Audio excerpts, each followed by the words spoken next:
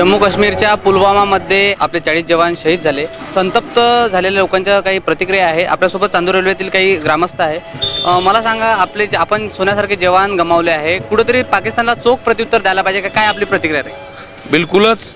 अत्यंत भयाळ हल्ला झाला याचा पहिले जाहीर निषेध करतो. जैन क्रीडा मंडळ व सर्व चांदूरवासियांतर्फे या हल्ल्याचा आम्ही जाहीर निषेध याच्यासाठी करतो की ज्या पद्धतीने पाकिस्तान ज्याची अवकात नसल्यामुळं तो या ताकदीचा विषय इथे करतोय. म्हणून कुठंतरी या देशाला जागरूक नाही करायचं आहे इथच्या युवकांना जा जागरूक नाही करायचं आहे. आणि त्यांनाही आम्ही म्हणू शकतो तो सरफरोशी की तमन्ना अब हमारे दिल में है. सरफरोशी की तमन्ना अब हमारे दिल में है. अरे देखना है जोर कितना बाजुए कातिल में है. देखना है जोर कितना बाजुए कातिल में भारत माता की भारत माता की काय वाटते कुठंतरी चोख प्रत्युत्तर द्यायला पाहिजे का? किंवा हे जे वारंवार होत असलेले आपले हल्ले आहे याला कुठेतरी बंदोबस्त व्हायला पाहिजे? काय एक आपली मागणी राहील ज्या पुलवामा ज्या आतंकवाद्याने आपल्या भारतीय जवानावर जे गोळीबार केला आणि या निषेधार्थ सर्व चांदूरवासियांनी आणि संपूर्ण देश आज त्या जवानाच्या पाठीशी आहे.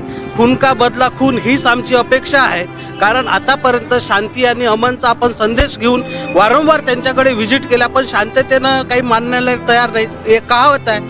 कारण लातो के भूत बातोसे नाही मानते. या संपूर्ण देशवासी जे शहीद झाले यांच्या संपूर्ण पाठीशी आज संपूर्ण चांदूरवासीय आणि आमच्या संपूर्ण नागरिकाची ही मागणी आहे की त्या लोकांना मागणीचा एक मॅसेज भेटला पाहिजे आणि खून का बदला खून. भारत माता की भारत माता की काय वाटतं तुम्हाला? काही नाही, आमची इतकीच अपेक्षा आहे. आमच्या भारतवासींवर जे आमच्या याच्यावरून आम्हाला जे दुःख झालेलं आहे आमचं इतकंच म्हणणं आहे की जे खून का बदला खूननीच झाला पाहिजे. बाकी काही अ, सांगण्याचा तत्व एकच आहे की हा जो हल्ला झाला हा म्हणजे एक प्रकारे पिठावर वार केलेला आहे. खरोखर आमनासामना जर झाला असता तर ती ताकद त्यांनी दाखवून दिली असती. आणि आता तर असं वाटत आहे की यांच्यासोबत हे भेटीगाठी केल्यापेक्षा डायरेक्ट शूट करून यांना बिलकुल या- आपली जागा दाखवून द्यावी असं मला वाटतं. बस काही नाही खून का बदला खून पाहिजे आम्हाला.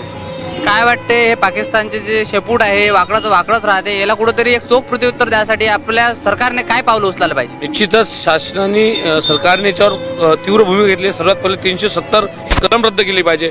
म्हणजे बगल में चुरी आणि बेद में बच्चा अशा पद्धतीचं सरकारचं वागणं आहे. एवढं मोठं तीनशे किलोमीटर डायनामिट तिथे पोहोचतं आहे स्कॉर्पिओमध्ये.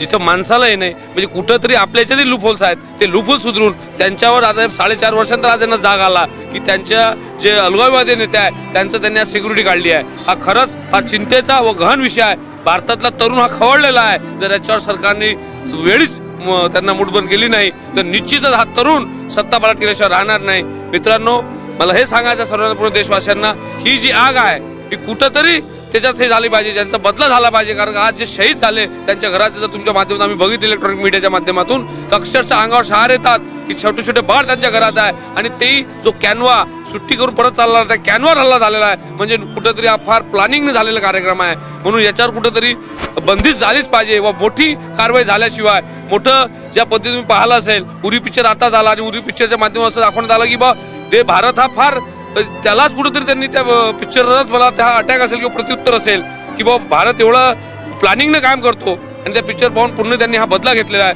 म्हणून माझं एवढंच कळकळीची विनंती आहे सरकारकडे सर्व देश त्यांच्यासोबत आहे सेना त्यांच्यासोबत आहे. त्यांनी कठोर पावले उतरावीत. जेणेकरून हा जो भयाळ हल्ला झाला त्याचा बदला घेतल्याशिवाय राहिला नाही पाहिजे. कारण आजचा तरुण हा खवळलेला आहे. सव्वाशे करोड जनता तयार आहे. त्यांनी कोणताही निर्णय उचलला तर त्यांच्यासोबत जनता उभी राहणार आहे. आपल्याच जवळचे लोक आपले फितूर होत आहे असं या ग्रामस्थांचं क- म्हणणं आहे. श्रीकांत मुळेसह धीरज मानमोडे कृषीप्रधान टीव्ही चांदूर रेल्वे.